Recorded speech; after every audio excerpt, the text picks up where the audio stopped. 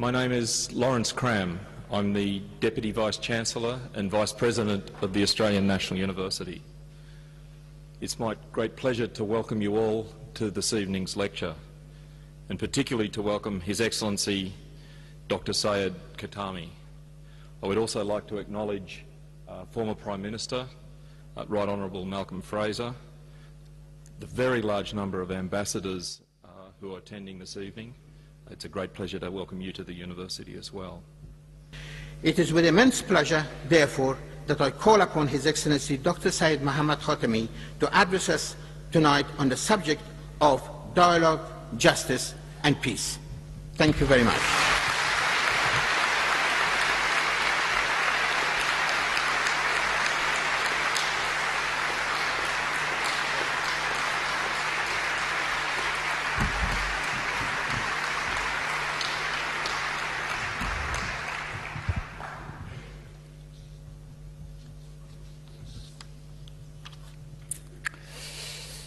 Bismillah ar-Rahman ar-Rahim. In the name of God.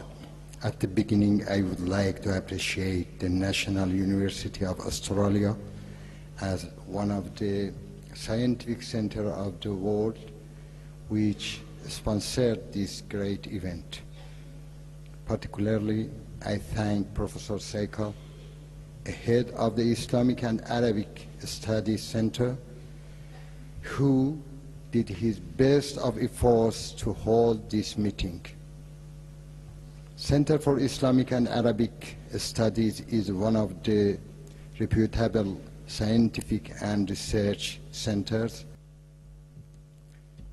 عالی جناب جناب آقای مالکوم فریزر جناب آقای ریاست محترم دانشگاه ملی کامبرا جناب آقای پروفسور سیکل استادان استادان محترم دانشجویان عزیز آقایان و خانمان Excellency Malcolm Fraser, the former Prime Minister, the Dean of the National University of Canberra, uh, Dr. Segal, uh, dear professors, esteemed students, ladies and gentlemen.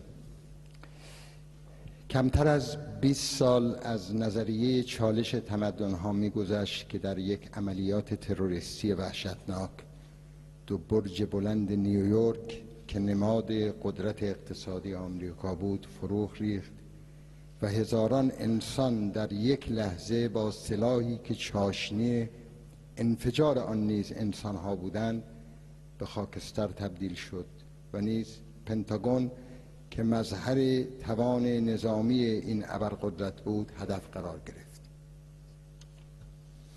Less than 20 years after the theory of clash of civilizations had been raised, the Twin Towers of the World Trade Center in New York, which were typical of the United States' economic influence, collapsed in a terrorist attack, killing thousands of people. Pentagon 2, which is the symbol of the U.S. military power, was another target of attacks. در پی این حادثه سیاست جنگی و ستیز جویانه آمریکا فضای دلهره آور و امنیت سوز را بر جهان حاکم کرد Humans were involved in provoking, triggering the attack. In the aftermath of the event, an air of horror and insecurity dominated the world as a consequence of the U.S. military and economic policies. و از هر دو سو بر تبل نفرت کوبیده شد And drums of hatred were beaten by both sides of the conflict. در خور توجه است که این حوادث درست در سالی رخ داد که به پیشنهاد فردی از شرق و جهان اسلام با اجماعی کم نظیر سال گفتگوی تمدنها نامیده شده بود It is noteworthy that all these incidents took place in a year named the Year of Dialogue Among Civilizations upon a proposal raised by a person from the Orient and the world of Islam. آیا آنچه پیش آمد گواه بر درستی نظریه جنگ تمدنها و پنداری بودن طرح گفتگوی تمدنها بود؟ Did what happened vouch for the accuracy of the theory of clash of civilizations and the elusiveness of the dialogue among civilizations theory? من در اینجا با قاطعیت می‌گویم که این حوادث تلخ نه تنها لطمه ای به امکان گفتگو نمی‌زند بلکه آن را به عنوان یک ضرورت گریز ناپذیر که می‌تواند بشریت را از وضعیت ناگوار کنونی رهایی بخشد تایید می کند.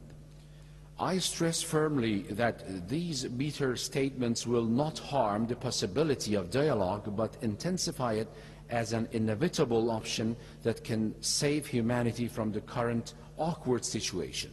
در لحظه حساس از تاریخ که در آن روابط میان انسانها روز به روز پیچیده تر و نزدیکتر می شود و سرنوشت کشورها و ملتها پیوستگی بیشتری به هم پیدا می کند و جهان به تعبیر رایج به صورت دهکدهی به هم پیوسته در می آید و تاریخ انسان با وضعیتی مواجه می شود که آن را جهانی شدن می نامند در چنین لحظه ای طرح گفتگوی تمدنها با توجه و دقت به این امید مطرح شد تا سرمشق و پرادای می باشد برای زندگی انسان و جهانی که از زور و شقاوت و تبعیض و ستیز و ناامنی به تنگ آمده است و در عمق وجدان خود طالب صلح و همزیستی و عدالت است.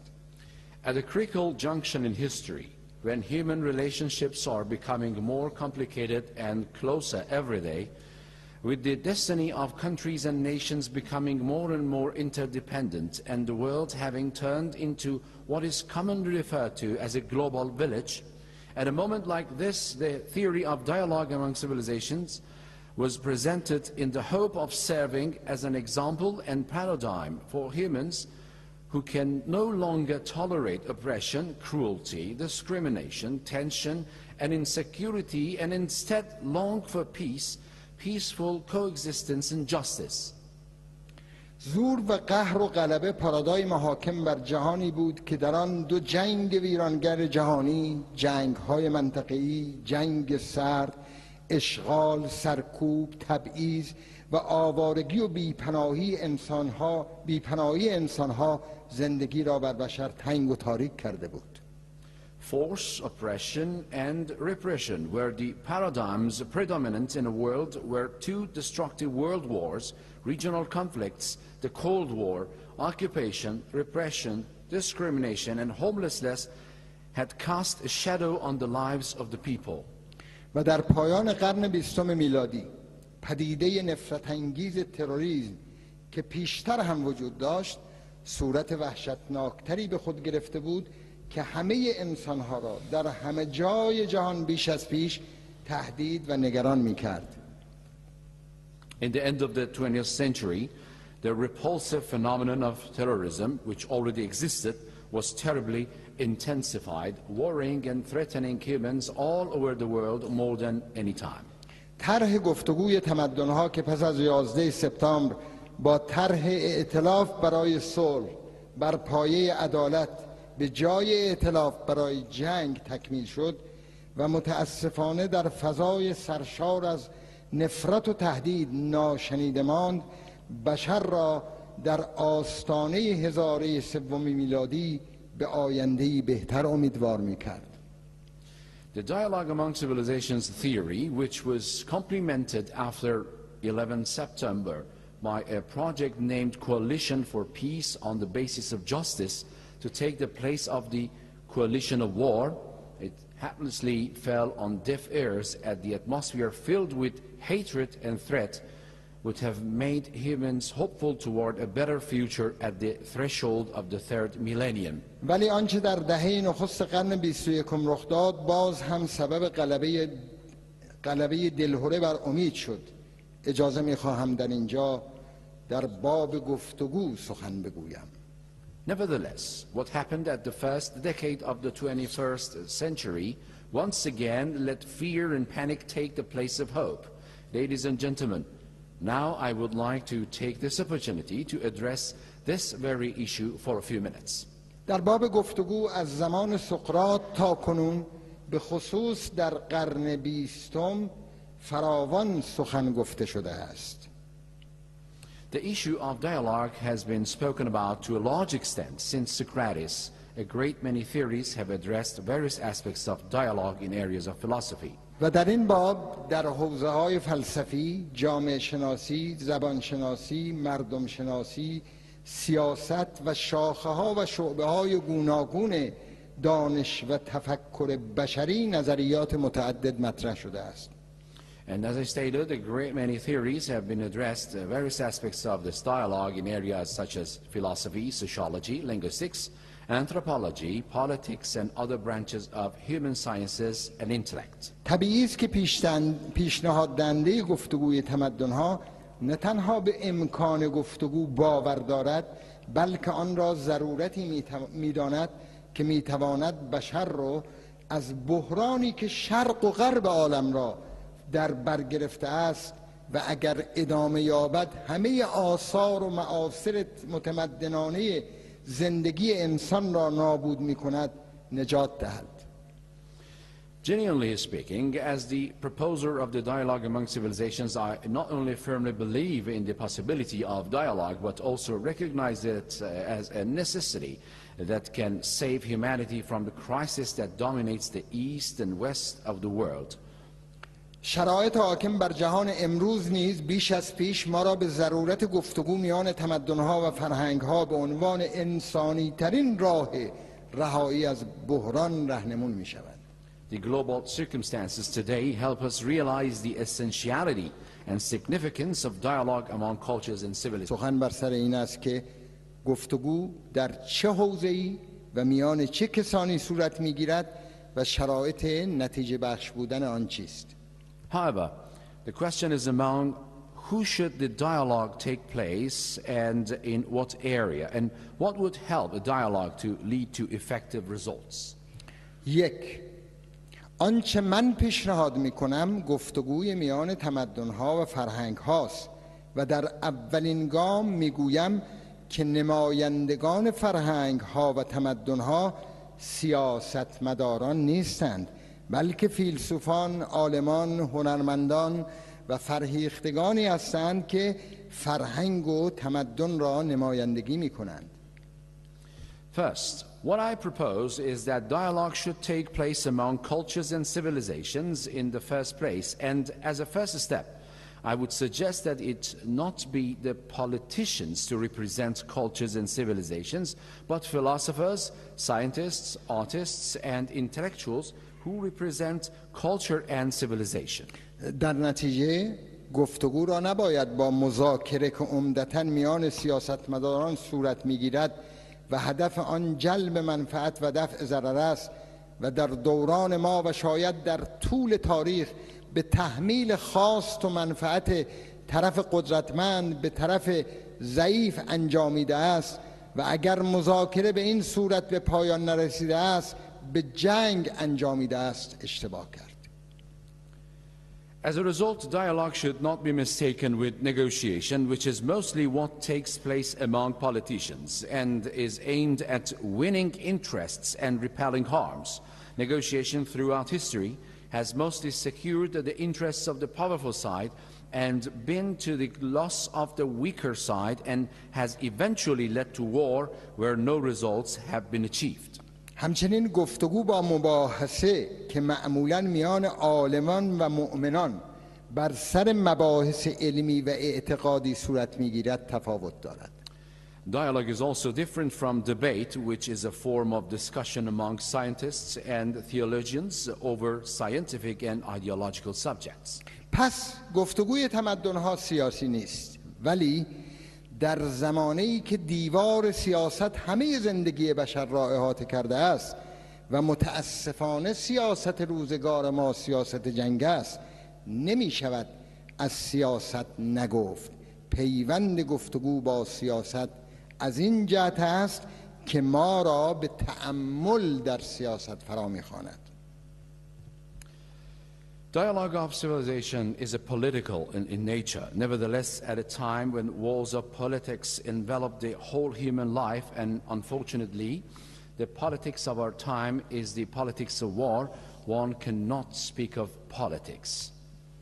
گفتگو اما دریچه است به گشودگی خود به دیگری و در صدد همزبانی و همدلی است نه در صدد تحمیل سلیقه و منفعت خود به دیگری و در آن نشانی از تحقیر یک طرف توسط طرف دیگر دیده نمی شود Dialogue, however, opens windows of exchanging ideas and sympathy with others rather than seeking to impose one's tastes and interests on others.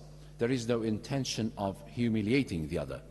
دو اگر بنابر گفتگو میان تمدن ها و فرهنگ هاست آیا غیر از تمدن غربی که تمدن غالب است تمدن های غیر غربی منشأ اثر هستند و آیا سخنی برای گفتن دارند And the second is if there is uh, supposed to be a dialogue among cultures and civilizations, will any other civilization than the predominant Western civilization, the non Western civilizations specifically, be of any impact? Will they have something to say?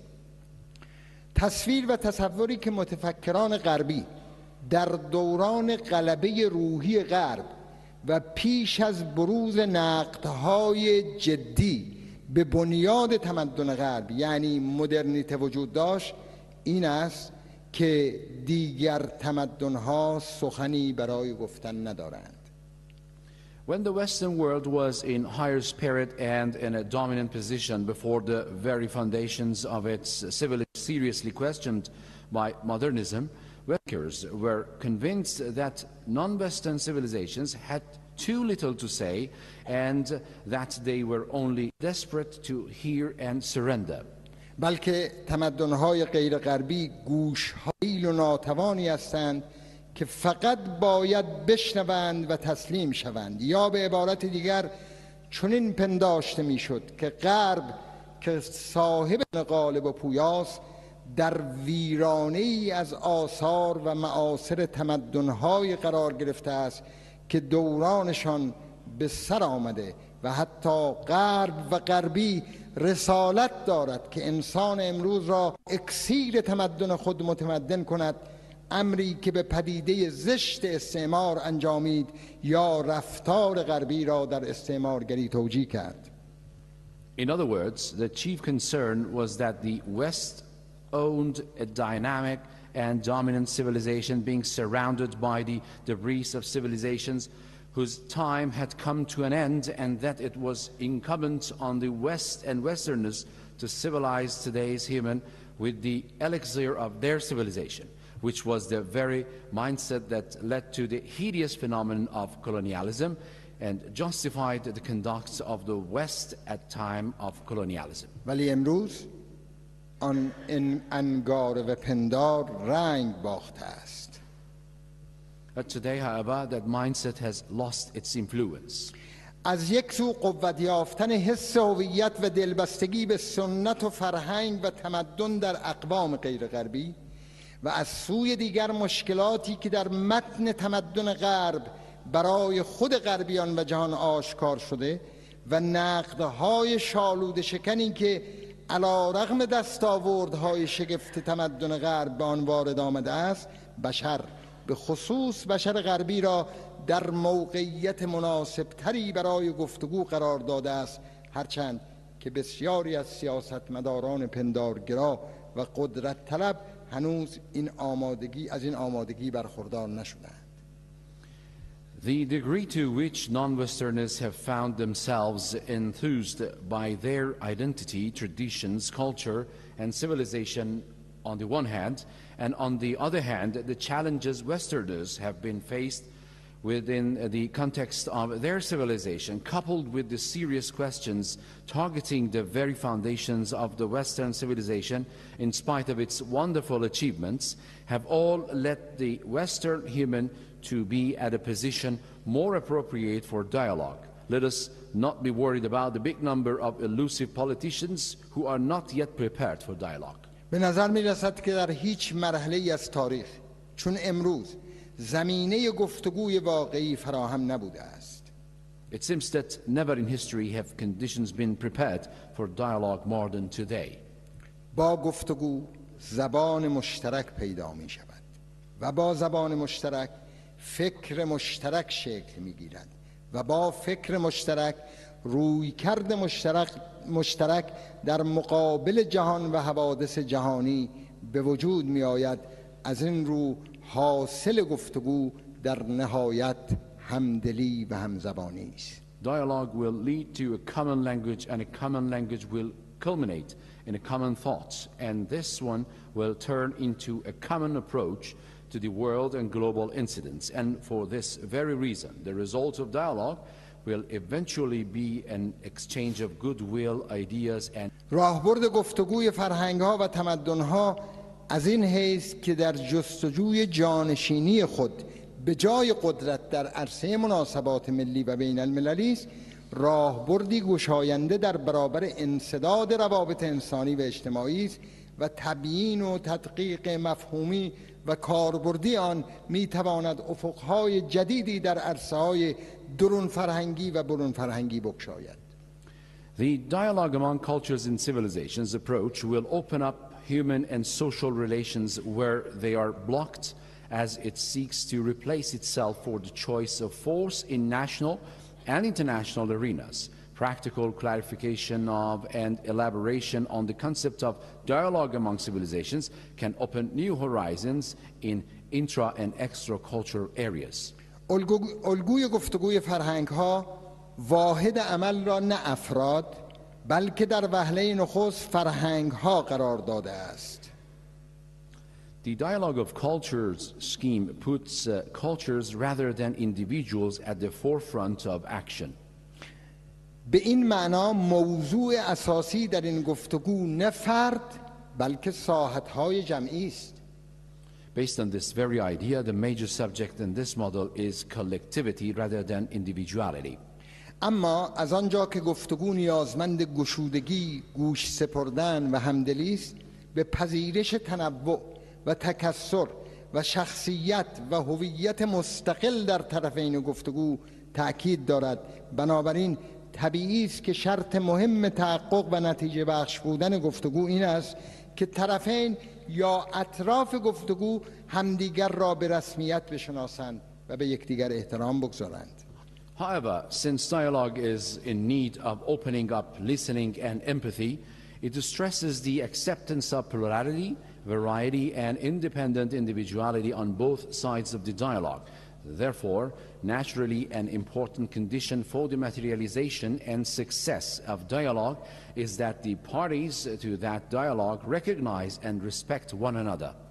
Hal اگر یک سوی گفتگو جهانی باشد که خود را برتر می داند و حتی عالم خود را پایان تاریخ به حساب می آورد و برای زندگی بشر هدف کمالی جز آنچه در فرهنگ و تمدن او تحقق یافته است نمی شناسد و در نتیجه تاریخ را که عبارت است از حرکت به سوی کمال پایان یافته می داند و فرهنگ و تمدنهای دیگر را به رسمیت نمی شناسد یا اگر از طرف آن طرف طرف دیگر آن سوی مقابل را پلید و منحت به حساب می آورد و نفرت خود را از سلطه استعماری و استکباری سیاستمداران وابسته به آن تمدن به ذات تمدن و فرهنگ سرایت می دهد راه گفتگو و همزبانی بسته می شود Now, if one side of the dialogue is a world that identifies itself Uh, as the superior side and even considers its universe the end of history,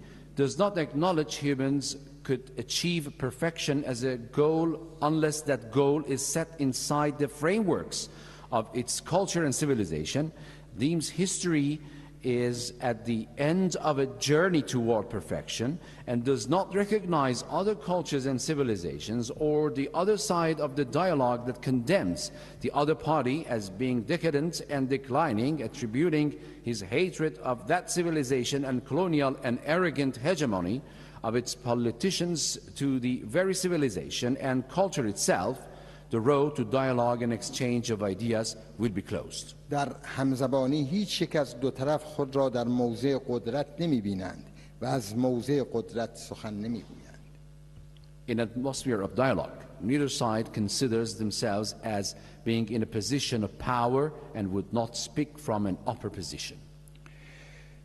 اگر از یک سو احساس قهر و قدرت و غلبه باشد و از سوی دیگر احساس واماندگی و حرمان و مظلومیت هیچ کدام به دیالوگ نمی اندیشند Should there be feelings of power and dominance at one side and the sense of despair and privation at the other side, a dialogue would never get materialized.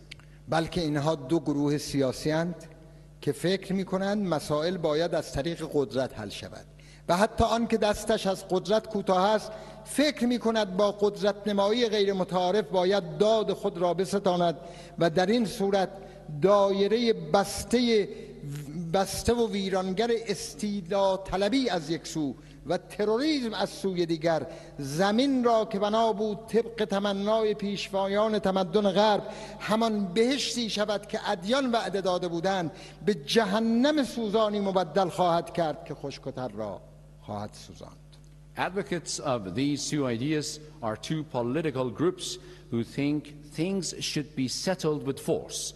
Even the one who is denied the power is of the conviction that unconventional use of force would help them to secure their right. Under such circumstances, this closed and destructive cycle of hegemonic tendencies at one side and terrorism at the other side, the earth, which was heralded by leaders of the Western civilization to become the heavens promised by religions, would become a burning hell that will burn indiscriminately. تردید نیست که وابستگان به تمدن‌های قدیم می توانند درس‌های بسیاری از تمدن جدید آموخته و بهره‌های فراوانی از دستاوردهای آن ببرند. No doubt, advocates of the ancient civilizations can learn many lessons from the new civilization and enjoy its achievements. ولی از سوی دیگر به خصوص با مشکلاتی که بعد از قرنها وابستگان به تمدن جدید و آن روبرو شدهاند و ایرادات و اشکالاتی که از سوی صاحب نظران بزرگ غرب به این تمدن وارد شده و خلعهای فراوان به خصوص خلعهای معنوی که در آن احساس می شود با توجه به کاهش غرور انسان غربی در تمدنهای غیر غربی غرور, غرور انسان غربی در تمدنهای غیر غربی می توان نکته ها و طرفه های بسیاری یافت. On the other hand, the new civilization too has been faced with many problems, and great Western thinkers have found faults with this civilization.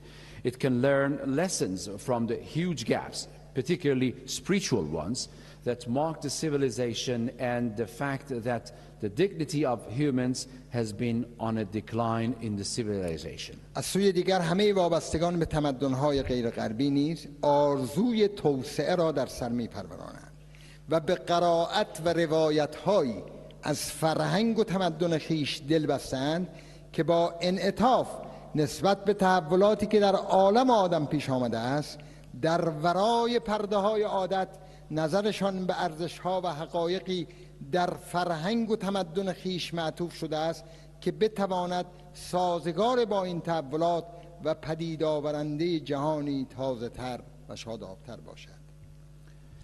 On the other hand, all advocates of non Western civilizations long for development. They are attached to, the, to those interpretations of their culture and civilization that are more flexible to the advancements and developments in the world. Beyond their habits, they are enthused about values and realities in their culture and civilization that can be compatible with such developments and help them build a livelier world.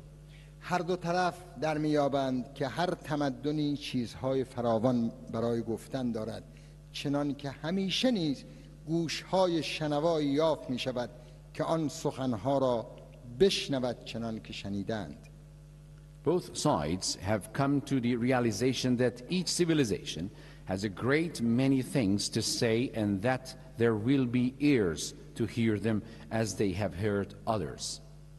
حافظ شاعر و حکیم جرفندیش ایرانی زبانی دارد که گوته گوته آلمانی حتی از ورای ترجمه های نه چندان شایسته آن را می شنود و ایزوتسو ژاپنی از امکان همزبانی بزرگترین عارف اسلامی محی ابن عربی با متفکران شرق دور سخن گفته Hafiz, the prudent and profound Iranian poet, speaks a language which Goethe, the German poet, despite inappropriate translations, can hear.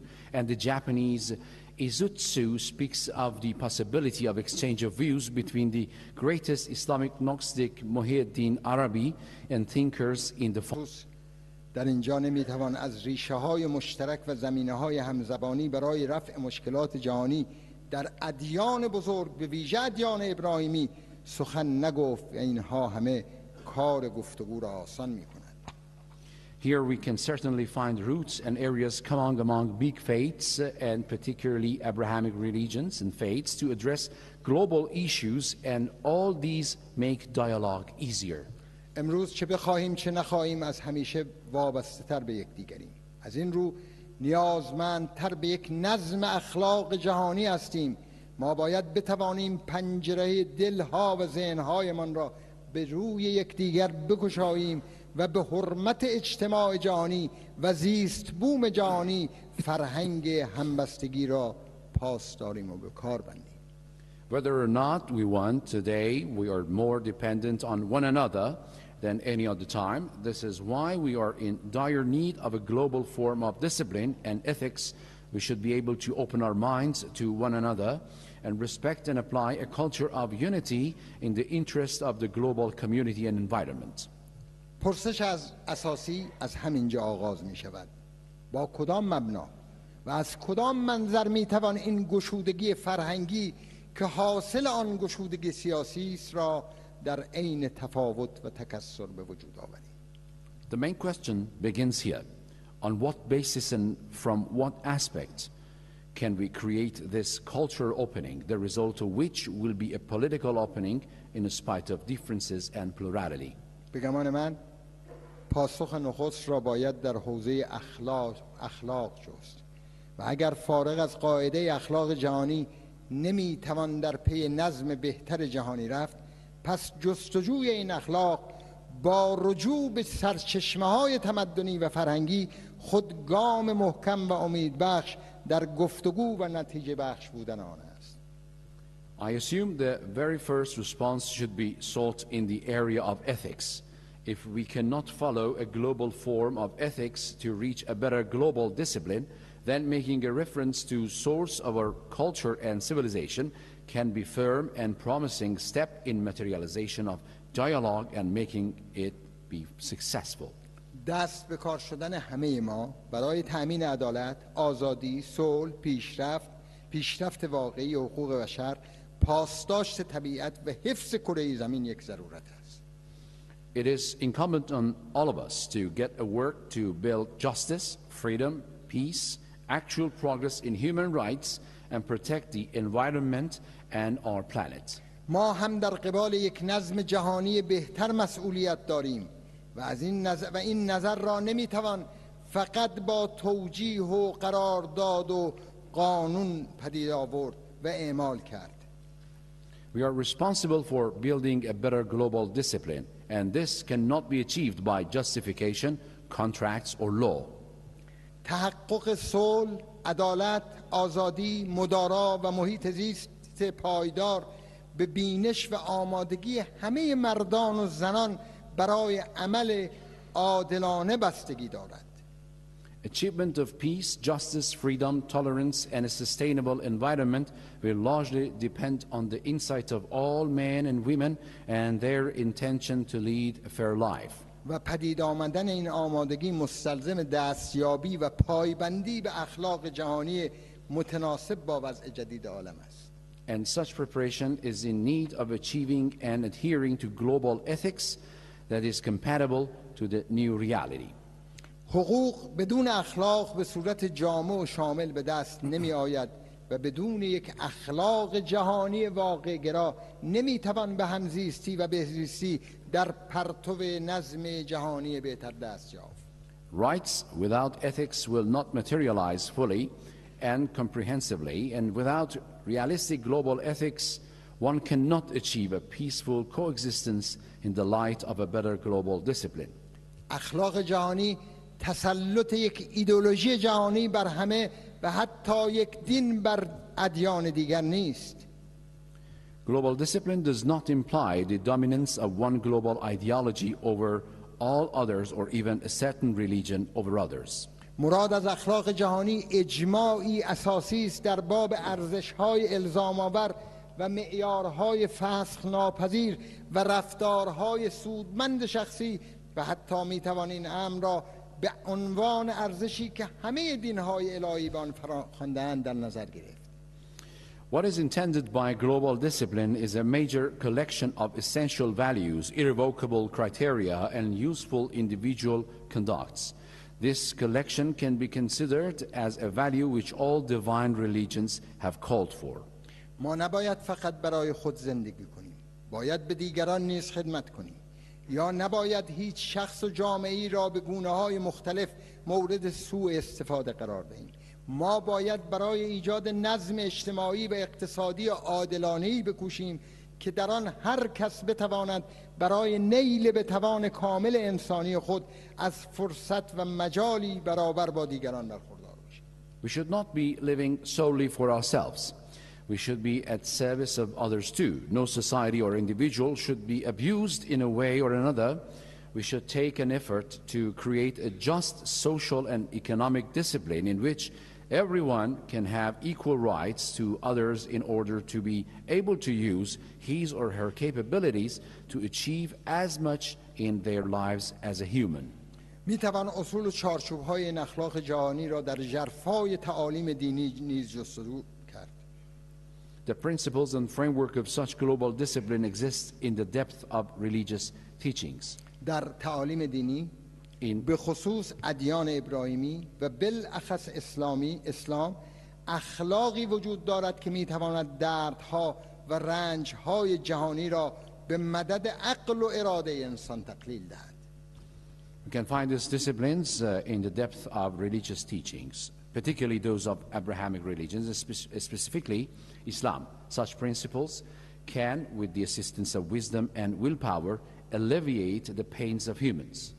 می توان از میان ادیان اساس اجماع برای این اخلاق جهانی را استخراج کرد و همین امر می تواند موضوع گفتگوی میان تمدنها و فرهنگها و به طور دقیقتر گفتگوی میان ادیان باشد From among religions, one can extract the basis of consensus for the global discipline.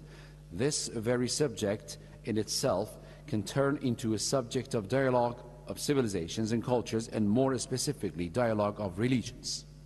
و کلام آخر در این باب این که بدون توافق و اجماع اساسی در باب یک اخلاق جهانی نمی‌توان اجتماعات انسانی را از تهدید به استبداد تبعیض تحقیر و نابسامانی مسون داشت و این همه خود مهمترین زمینه های گرایی و خشونت در جهان امروز است And my final statement is that without having major consensus on a global form of ethics, one cannot immunize human communities against threats of despotism, discrimination, humiliation, and confusion. All these elements are the most important areas that trigger extremism and violence in today's world. علاوه بر آنچه گفته شد به نظر می رسد در جهان به هم پیوسته کنونی فوری ترین مسئله این است که دردهای مشترک را بشناسیم و تعریف درستی از هدف مشترک برسیم و به تعریف درستی از هدف مشترک برسیم و آنگاه به ریشه های فرهنگ ها و تمدن ها رجوع کنیم و راه رسیدن به هدف مشترک را بیابیم و در کنار هم آن راه را طی کنیم.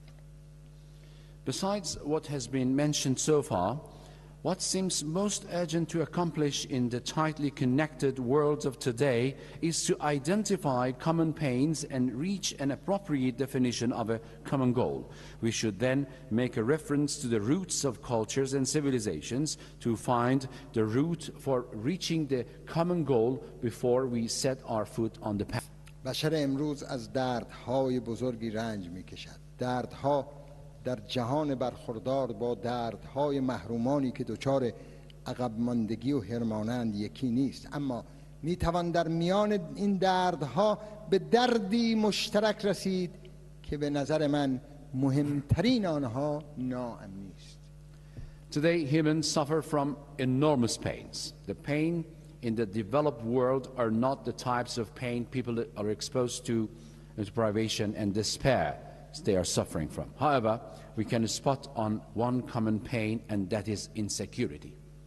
ناامنی اختصاص به یک قوم و یک ملت ندارد اگر روزی ناامنی ناشی از فقر جل بیماری تغییر شدگی سرکوب و آوارگی ملت های خاصی را آزار می‌داد امروز انسان برخوردار در پیشرفته ترین کشورها نیز با همه وجود احساس ناامنی می کنند Insecurity does not particularly affect one nation alone.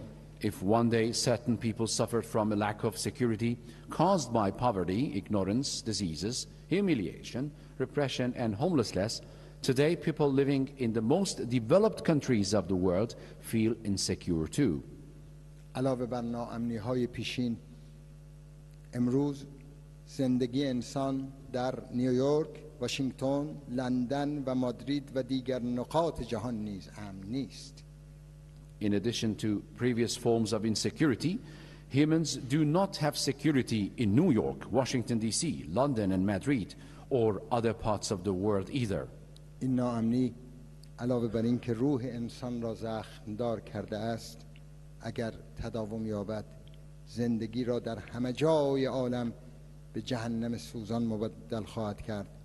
می‌توان ناامنی را به عنوان درد مشترک انسان این روزگار محور گفتگو قرار داد و برای آن راه حل مشترکی جست.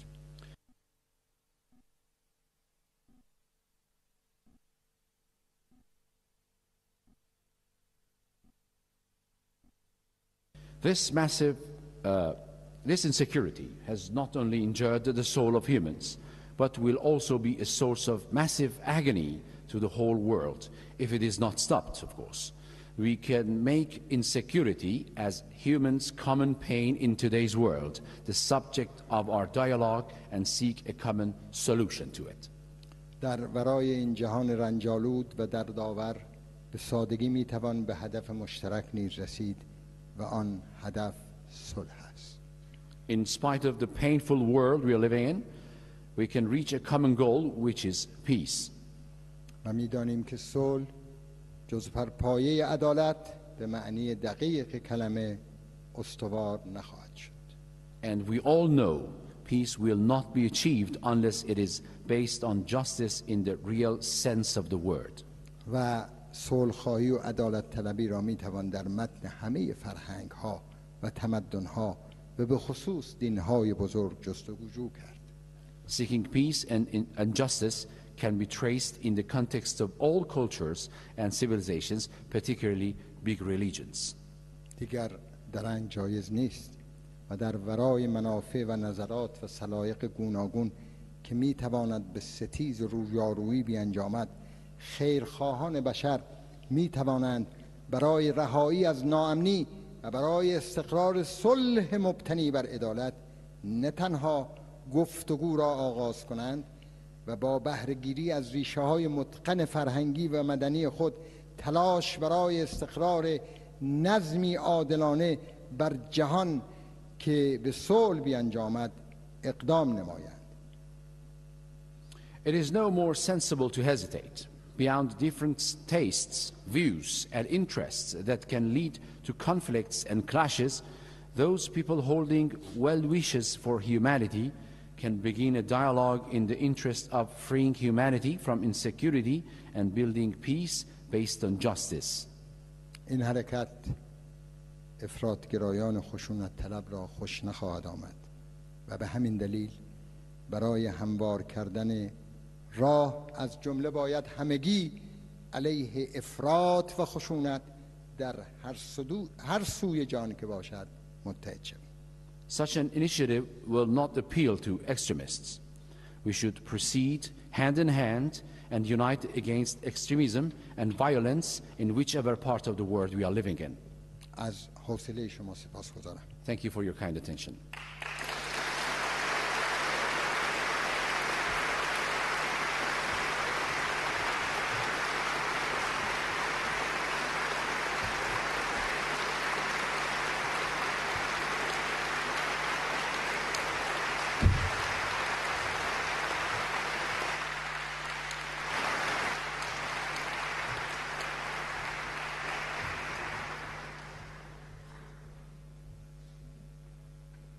Behalf, let me thank Dr. Katami for his wise and very optimistic presentation.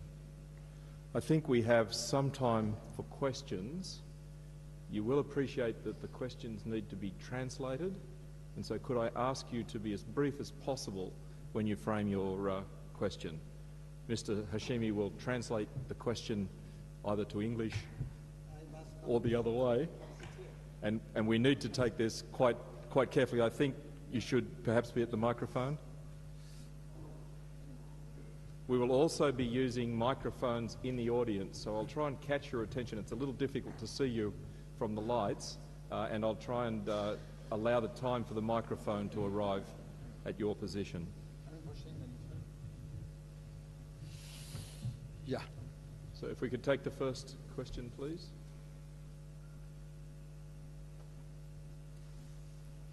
Let me pick one here, but we need the microphone.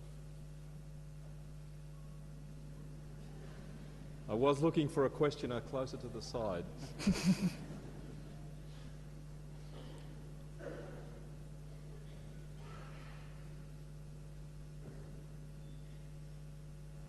No. It's on? Um, thank you for a wonderful, wonderful talk.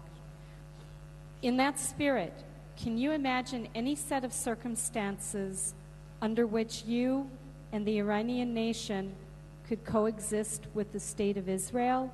If so, what are they?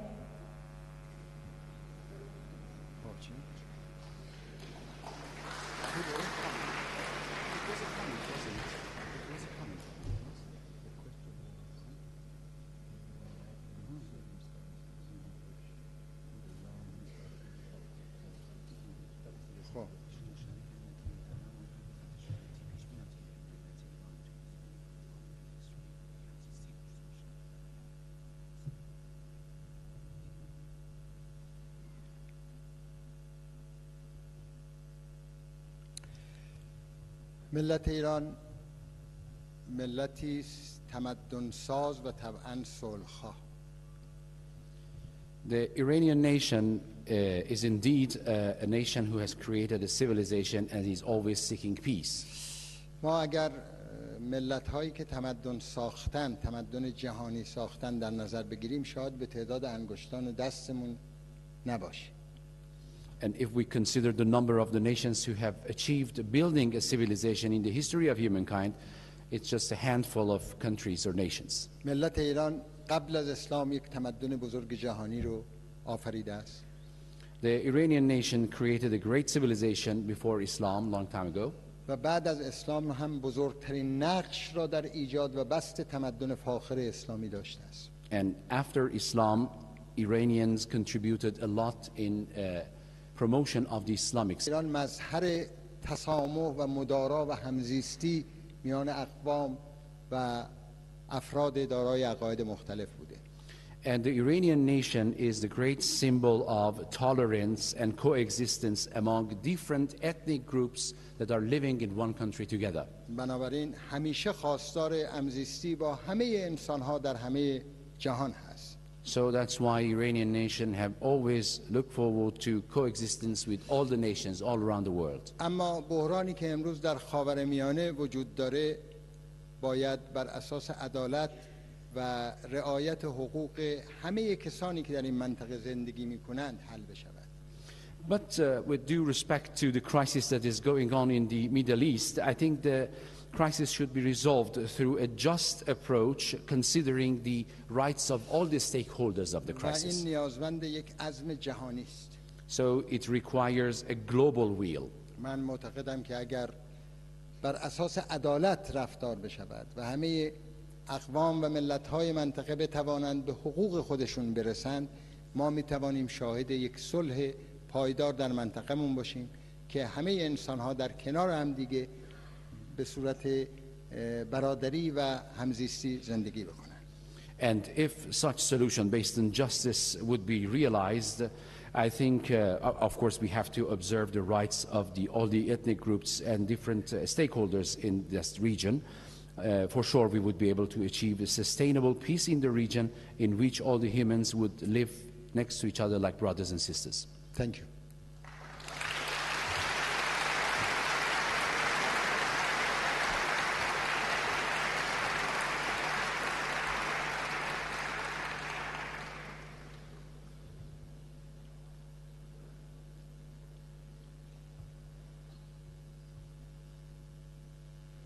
You very much.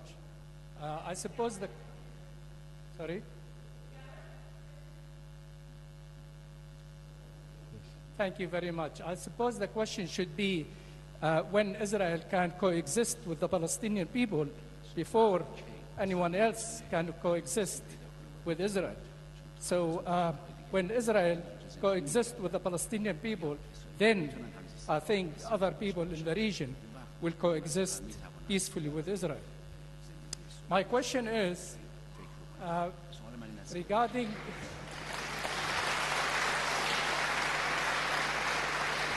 Regarding the uh, um, dialogue of civilization, uh, what stage is it at now, and what obstacles um, uh, you face in achieving a truly dialogue of civilization?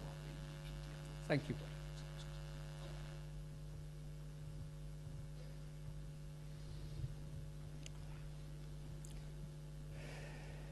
من اشاره کردم که صلح در خاورمیانه یک ضرورت برای همه ملت های منطقه است As I stated previously, uh, peace in the Middle East is a necessity for everyone.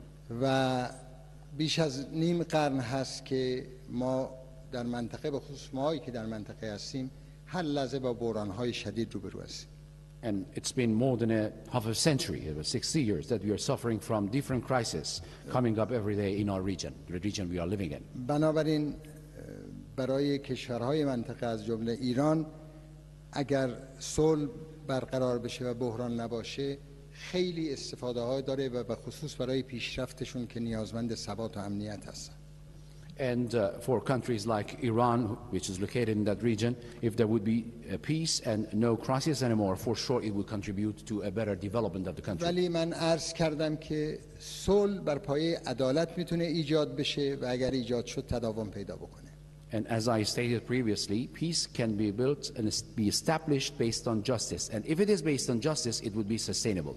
ما اگر از احساسات عبور بکنیم و به واقعیات بنگریم شاید منصفانه تر بتونیم قضاوت بکنیم And if we pass the emotions that we feel inside and go beyond that and get to the realities, I think then we can achieve such kind of a goal. بیش از نیم قرنه که بیش از چهار میلیون نفر فلسطینی از سرزمین خودشون رانده شدن It's been more than half a century that four million Palestinians have been pushed away from their homeland. شما در اینجا در استرالیا ما در ایران سایر کشورها در کشورهای خودشون زندگی نسبتا مناسبی دارن You in Australia, we in Iran, and people in their own homelands, they have rather peaceful lives. ولی میلیون ها فلسطینی در کمپ ها به دنیا میان در کمپ ها زندگی می‌کنن و در کمپ ها میمیرند But millions of Palestinians still they are born in ghettos, in camps. They live there and they die there. و متاسفانه این ابتدایی ترین اصل انسانی را که اینا حق بازگشت به سرزمین خودشون دارن و حق تعیین سرنوشتشون دارن به رسمیت شناخته نمیشه And unfortunately, the, the most basic right of a human being, which is the, the right to go back to the homeland and decide about his own destiny, have been, they have been deprived of. و متاسفانه قدرت هایی که مدعی هستن که می‌خوان صلح رو برقرار بکنن حقوق این جمعیت گذاف رو نمی‌بینن و فقط یک طرف حقوقش رو در نظر می‌گیرن And unfortunately, the uh, powers that are actually, they are claiming that they are following up the peace treaties and everything, uh, they do not see the rights of the other side of the equilibrium. من معتقدم که ما مسلمان ها یهودی های دنیا مسیحی های دنیا با دست به دست هم بدیم و بکوشیم که زمینه های بیعدالتی از بین بره اون وقت شما مطمئن باشید که صلح پایدار هم برقرار خواهد شد I think Muslims, Jews, Christians all around the world should have hand in hand and do our utmost effort in order to remove injustice and create justice, then all these crises will be over one day. اما گفتگوی تمدن ها یک پروسس But dialogue among civilization is a process, مخالفان زیادی هم داره and we, the, it, it has many enemies, and the ones who are against it. سیاستمداران که استراتژی و اساس کار خودشون رو بر زور و غلبه قرار دادن Particularly the politicians who are uh, establishing their approaches based on force. اما در متن جوامع بشری من معتقدم که اصل گفتگوی تمدن ها جایگاه خیلی خوبی داره But I am strongly of the opinion that uh, among all the human beings, dialogue has a very special, particular role and position. بعد از اعلام پیشنهاد اینکه سال 2001 گفتگوی تمدن باشه و اینکه سازمان ملل یک تأسیساتی برای گفتگوی تمدن ها ایجاد کرد ما شاهد پیشرفت های بزرگی در این زمینه بودیم. And uh, uh, at 2001, when the United Nations, on, based on a consensus, decided to call 2001 the uh, year for dialogue among civilizations, the United Nations decided about some the, uh, tools and uh, means and ways in order to establish it. ده ها بخش گفتگوی تمدن ها در دانشگاه های معتبر دنیا ایجاد شده Several centers for dialogue among civilizations have been established in a variety of universities. هزاران مقاله عمیق و خوب در این زمینه نوشته شده And thousands of articles have been written on the subject. ده ها کتاب معتبر در این زمینه تعلیف شده است Tens of volumes of books have been authored on the subject. صدها نشست های معتبر بین المللی در این زمینه برقرار شده And hundreds of international reputable meetings and workshops on this subject have been convened. خود من هم یکی از کارهای مهم بعد از دوران ریاست جمهوریم ایجاد بنیاد گفتگوی تمدن‌ها و فرهنگ‌ها در ژنو بوده And one of the uh, most important achievements I had after my term as president is uh, establishing the foundation for dialogue among civilization and cultures based in Geneva. که بسیاری از شخصیت های معتبر جهانی سیاسی، فرهنگی، علمی، دینی به عنوان اعضای عالی رتبه و عالی مقام این مرکز فعال هستند And many of the eminent uh, politicians, uh, religious people, are a member to the board of governors of this institute. اه، سیاستمداران برجسته که نوعا خیلی از اونا را شما میشناسید And there are, among them, there are uh, the uh, great politicians uh, that uh, you know, most of them. عالمان بزرگ بین المللی و شخصیت ها و استادهای برجسته دانشگاه و محققان دنیا عضو هستند در اونجا Great researchers and university professors are a member to the board. شخصیت های وابسته به ادیان و فرهنگ های مختلف هستند And eminent uh, that are uh, working on different uh, religions and subjects. از جمله رهبران برجسته دینی از اه، مسیحیت از یهودیت از اسلام از بودیسم و سایر شخصیت هایی که صاحب ادیان بزرگی هستند با ما همکاری می‌کنند In this institute, at the board of governors, we have uh, religious leaders from the world of Christianity, Judaism, Islam, Buddhism, and many other eminent personalities. البته موانع زیادی هم هست Of course, there are a variety of obstacles on the way too. اگر یک میلیونیوم مخارجی که دنیا برای تخریب سرکوب کردن انسانها ایجاد سلاح کشتار جمعی و به کار بردن اون یک میلیونیوم اون را اختصاص می‌داد به مسئله گفتگوی تمدن خیلی کار ما زودتر پیش می‌رفت Considering all these obstacles, if just one percent or a couple of percentage of what is allocated to produce WMDs, the weapon of mass destructions, or to suppress people here and there, was allocated to the subject of dialogue among civilizations, we could have achieved much more than this. معمولا هم تجربه تاریخ اینه که اونجایی که عقل و انصاف هست امکانات مادی کمه و اونجایی که امکانات مادی زیاده عقل و انصاف وجود نداره I think that's the bitter lesson that we will learn out of the history that wherever uh, wisdom and justice is there, there is no money to promote it, and where there is money, there is no wisdom and justice.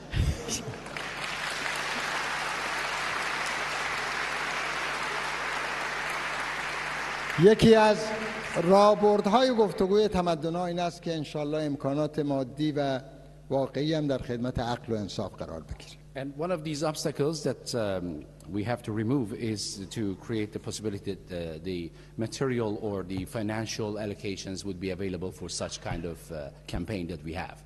Thank you.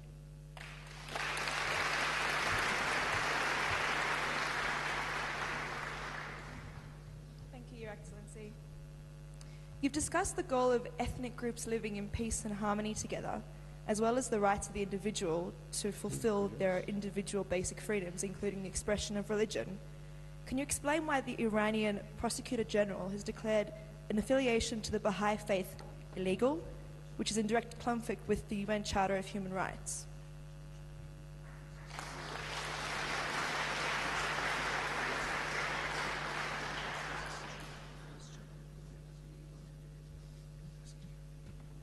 متشکرم امیدوارم که روزی برسد که هیچ انسانی متعلق به هر دینی هر آینی هر مرامی هست دچار زندان و گرفتاری نشه Thank you for this question. I'm wishing and looking forward for the day in which no humankind, human being would be incarcerated because of its religious beliefs. هیچ اجازه بدید هیچ کس از دستگیری محاکمه و مجازات هیچ انسانی نباید خوشنود بشه And no one, I believe, would be happy hearing that somebody is uh, actually pressed charges against or tried or incarcerated. ولی به هر حال متاسفانه جرم و خلاف در دنیای امروز ما وجود داره But unfortunately, we are living in a world full of crimes and offenses. و متاسفانه هنوز در دنیا زندانهای زیادی هستند که انسانهایی رو اه، گرفتار کردن And we are living in a world that we have many prisons in which many inmates are living. البته ما باید نگران باشیم که خدای نکرده انسانها بی جرم گرفتار بشن اگر اینجور باشه خیلی بده And it would be terrible to see someone incarcerated without any justification. هیچ کم نمی‌تونه ادعا بکنه دیگه که در هیچ جای دنیا اینطور نیست که همه کسانی که گرفتار میشن انسانهای تجاوزکار و مجرمی باشن گاهی ستم میشه به بعضی انسانها And I think nobody will, will be in a position to claim that in my country there is no one incarcerated without any crimes. For sure, we would have such injustice. بنابراین ما باید سعی بکنیم که عدالت حاکم باشه بر رفتارهای انسان و حکومتها و نه اینکه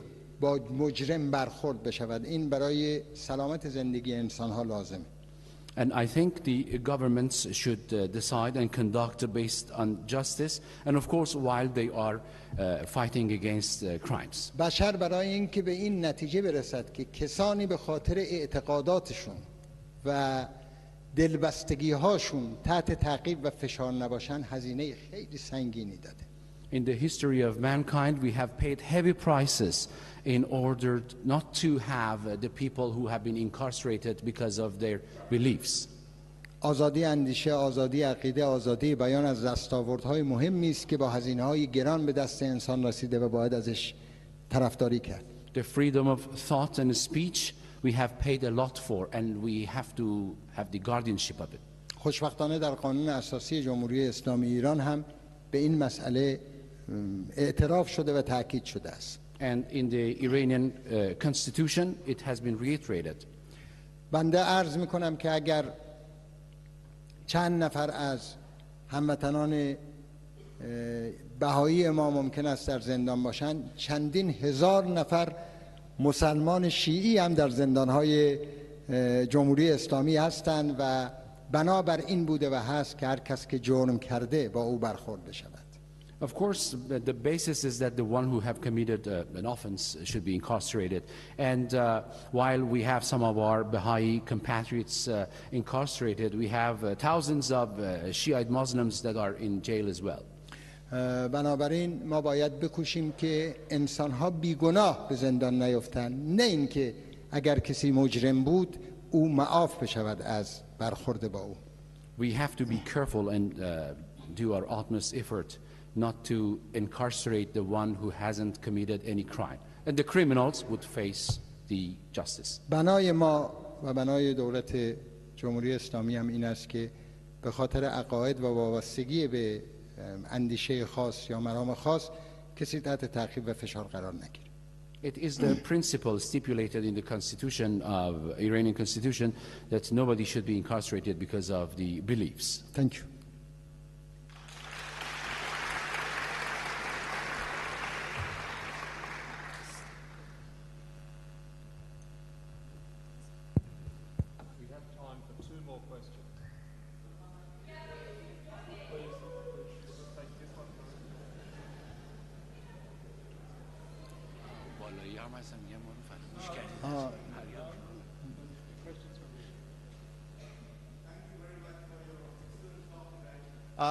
Just wanted to ask you about Afghanistan and Pakistan. Uh, history tells us that Iran has had long linkages with uh, the countries of Afghanistan and Pakistan. And as we all know, since the President Obama has come into power, his top foreign affairs priority is to bring peace into that region. Uh, could you tell us how the nation of Iran could support NATO and U.S. allied countries to build the nation of Afghanistan and to root out terrorism from Pakistan?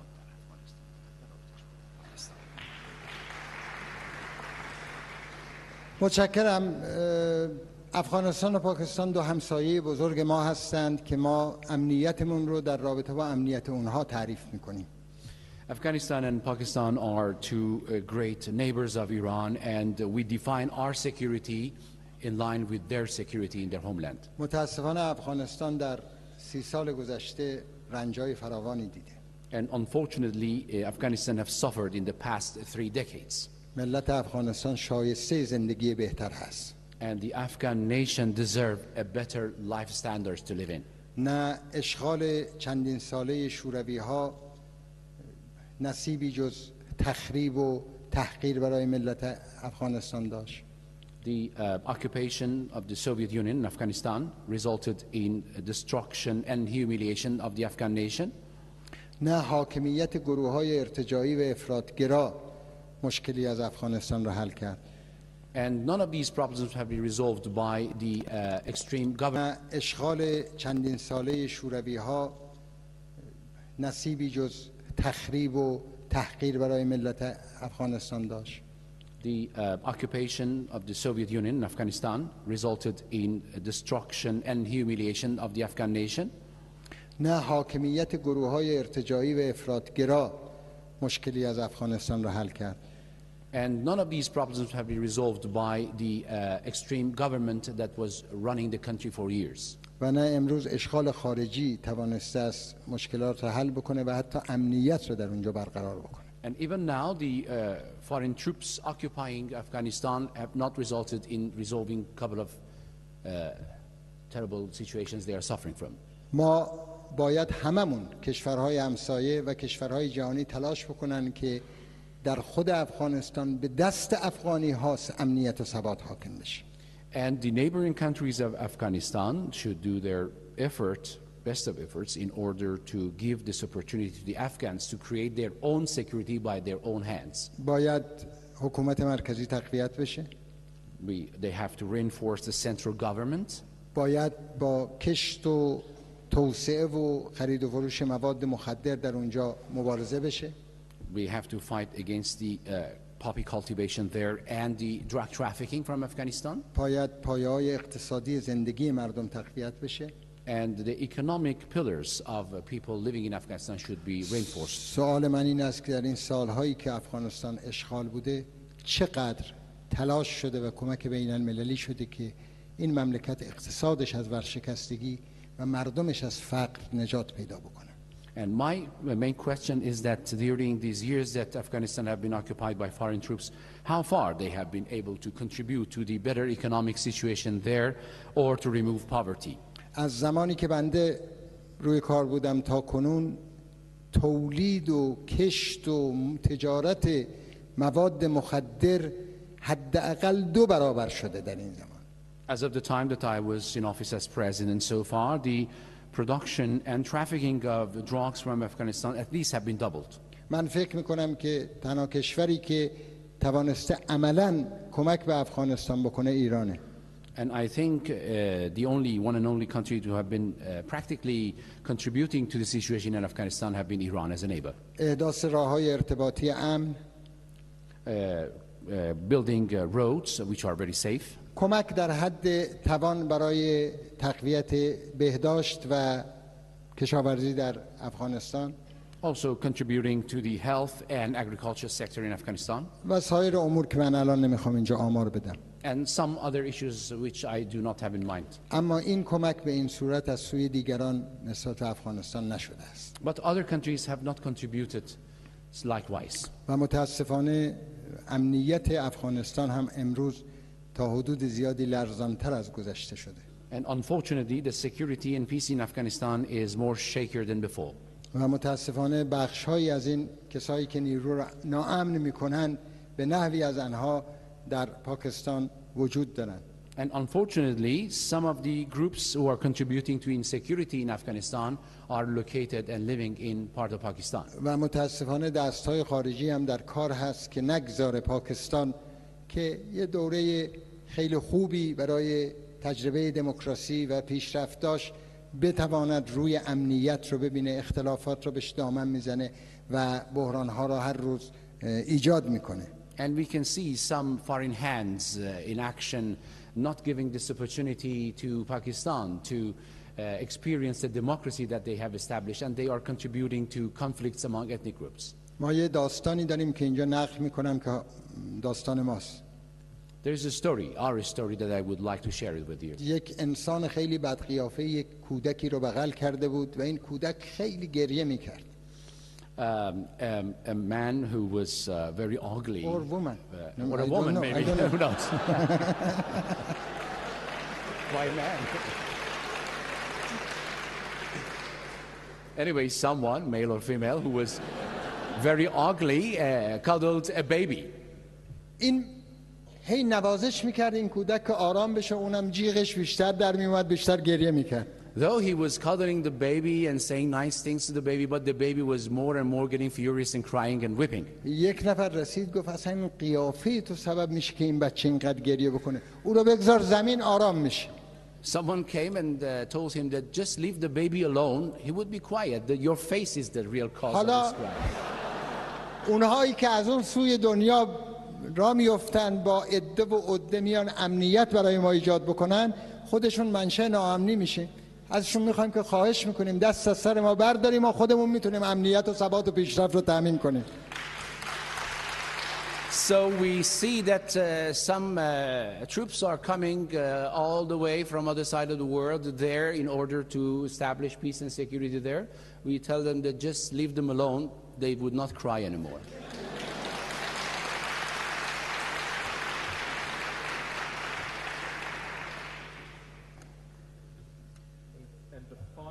final, Right here. Thank you. please let me just be clear that the person who has the microphone at present is not the person that I called. Um, I am prepared to take two questions if that's all right by you. اون بالایی ها حقشون ضایع نشه I, I hope we are observing the rights of the people who are sitting up there. Unfortunately, that's very difficult to manage from a technological perspective. So two questions. The second question from, from you, Deb, please. Thank you. Uh, Dr. Khatami, firstly, welcome to Australia. Uh, you mentioned in your speech that it is the right of each individual to be able to pursue their goals and their interests to the best of their ability. However, the Baha'is, who represent the largest religious minority in Iran, continue to be refused entry to public universities due to their religious convictions. Now, the Baha'i faith, its central tenet is unity, of peace, and of fellowship. Can you please? I have two questions. The first one is For what reason are Baha'is continually being denied access to these universities? And secondly, to what extent will the government facilitate their entry and allow these young, capable, and intelligent Baha'is to pursue the right that you mentioned of pursuing their goals to the best of their ability? Thank you.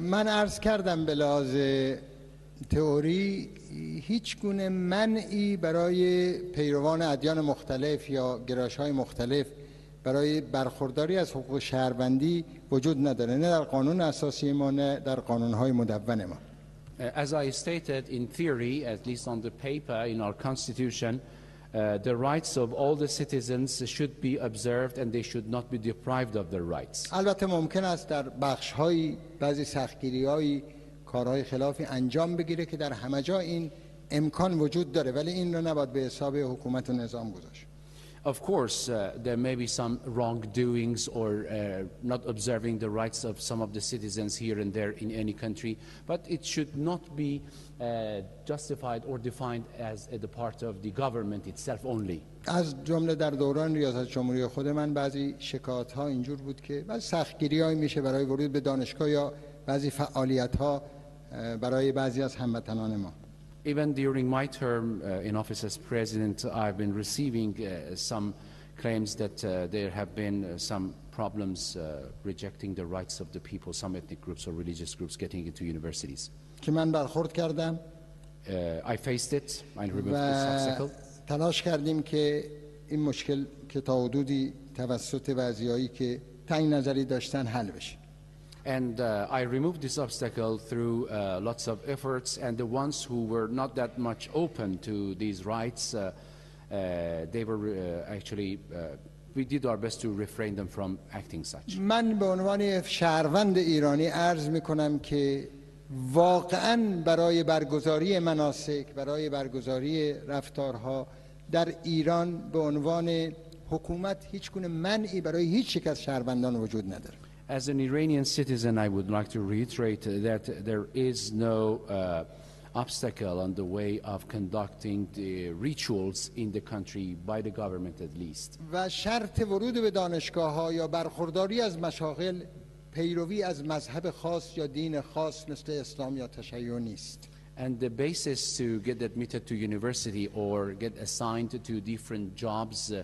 is not theoretically based on beliefs. در این حال باید بکوشیم که اگر بعضی وقتها در بعضی جاها مشکلاتی وجود داره انشالله با تدبیر این مشکلات رو هم حل بکنیم And on the other hand, if some uh, would like to uh, reject these rights, we have to do our utmost effort not to give them the chance and remove these obstacles. من بارها گفته بودم وقتی که رئیس جمهور بودم من فقط رئیس جمهور مسلمان ها و اون شیعیان نیستم من رئیس جمهور هر ایرانی هستم که در هر کجای دنیا که هست از جمله در وطن بزرگمون Uh, during my term in office as president, I a couple of times reiterated that I am not the president of the Muslim Iranians. I'm the president of all Iranian citizens, wherever they are in homeland or all other countries around the world. و امیدوارم که در همه دنیا نظام هایی که سر کار هستن نماینده همه افراد ملتشون با هر رنگ و نژاد و دین و آینی که هستن باشن And I hope that all over the world, the politicians, uh, the uh, people who are in charge of the governments, re- represent their nation, forgetting about their ethnic groups or the religious affiliations. این آرزوی ماست و طبق ضرب المثل ایرانی آرزو بر جوانان عیب نیست And this is uh, the best of my wishes for everyone. As we say in Persian literature, we say, uh, wishing is uh, the only thing that the young people would like to devise, not the old people. And we are young still. Last question? Another question? One final question, provided we can have a microphone up there.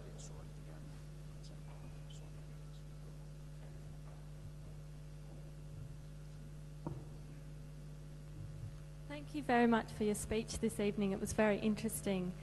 My question relates to women in Iran.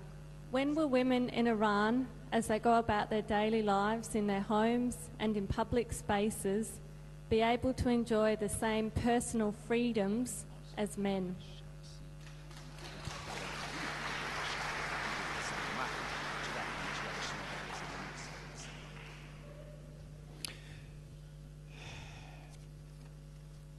من به عنوان یه